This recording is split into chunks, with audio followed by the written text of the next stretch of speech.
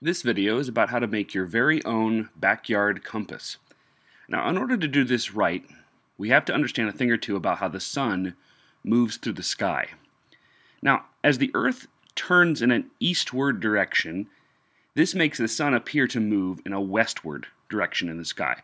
The sun rises on the eastern horizon, climbs through the sky, and sets on the western horizon. Now, at some point in the day, the sun is at the meridian. From the standpoint of where you are on the Earth, the meridian is the imaginary line that divides the sky into east and west halves. So the line is drawn from due north all the way through the zenith, which is the point right over your head, and then through due south. Anyway, when the sun hits the meridian, this is called high noon. Now, knowing your local high noon is handy uh, for the next time you want to have a duel outside your local saloon. Now, don't confuse high noon with noon on your clock. High noon is when the sun is at the meridian. Noon on your clock is just a convention we've invented to help us set our schedules. Now, our time zones are based on the concept of high noon. In every time zone, there's a longitude line somewhere right down the middle of that time zone. Uh, for the lucky people who live right on that line, their local noon is the same as high noon. The noon on their clocks corresponds to when the sun is at the meridian. However, if you live east of that line, noon on the clock is the same, but your local high noon will be before noon. If you live west of that line, noon on your clock is the same, but your local high noon is after noon. Now, how much before or after noon is high noon for your city? Now, that's what we're going to find out. The sphere of the Earth has been divided into 360 degrees of longitude lines. It takes the Sun about four minutes to move one degree. So if you're standing on 70 degrees west at high noon, in four minutes the Sun will be at high noon over 71 degrees west.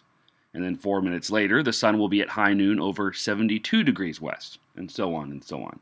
So let's figure out high noon for your area go to latlong.net and type in your street address and note the longitude number. Now, to simplify things, take away the minus sign if there is one.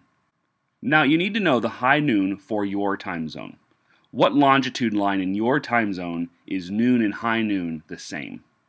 I live in the eastern time zone, and for us it's 75 degrees west. Here are the longitudes for other time zones in the U.S. So here's what you do. Take your local longitude and subtract from it your time zone high noon longitude. What we're trying to do here is we're trying to find out how many degrees longitude there is between you and your time zone high noon. So what you do then is you multiply that number by 4. Remember, it takes the sun 4 minutes to move 1 degree. If your number is negative, this is the number of minutes before clock noon that is high noon for your area. If your number is positive, this is the number of minutes after noon that is high noon for your area. Okay, so here's the goofy part. If you're doing this whole experiment during daylight savings time, so basically from the beginning of March through the end of October, then you need to add one hour to the whole thing. During daylight savings time, your local clock is set forward one hour, so don't forget to figure this into your equation. Okay, so now you have a local high noon time. Now you can make your backyard compass. Go outside and place a straight stick in the ground. Make sure it's standing up straight. Now wait for your local high noon and then note where the shadow falls. Place another stick at the tip of that shadow. The direction that shadow is now pointing is due north. Why is that? Remember, you did this at high noon when the sun was at the meridian. The meridian is that line that runs from due north to due south.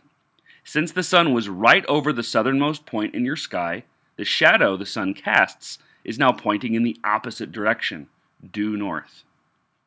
Now you can complete your compass by extending the lines further north and south, and a perpendicular line for east and west.